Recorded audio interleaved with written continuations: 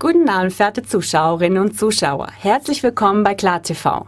Durch Erpressung erwirkte Goldverkäufe ist das Thema der heutigen Sendung. Das jüdische Dokumentationszentrum Simon Wiesenthal in Los Angeles forderte am 31. Oktober 1996 die Schweizer Regierung dazu auf, alle ruhenden und zweifelhaften Konten, die zwischen 1933 und 1945 auf Schweizer Banken eingerichtet wurden, einzufrieren.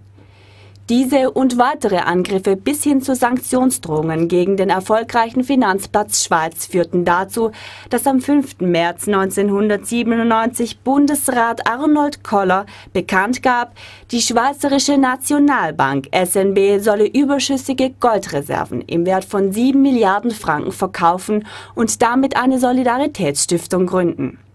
Doch bis und mit 1999 waren Goldverkäufe hinter dem Rücken des Schweizer Volkes nicht möglich. Erst nachdem Verfassung und Gesetze geändert wurden, konnte seit dem Jahr 2000 die drei Mitglieder des SNB-Direktoriums im Alleingang alles Gold verkaufen und unlimitiert Geld drucken. Mit einem Ja zur Goldinitiative kann dieser Zustand wieder beendet werden.